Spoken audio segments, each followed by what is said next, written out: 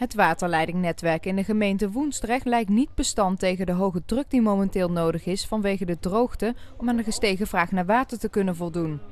De afgelopen dagen is de waterleiding op maar liefst vijf plaatsen gesprongen. Dinsdagavond was het opnieuw raak in Hogerheide en Ossendrecht. Volgens nutsbedrijf Delta kan het liggen aan de verhoging van de druk en problemen als gevolg van de strenge winter. Het is volgens een woordvoerder te vroeg om van een versleten netwerk te spreken.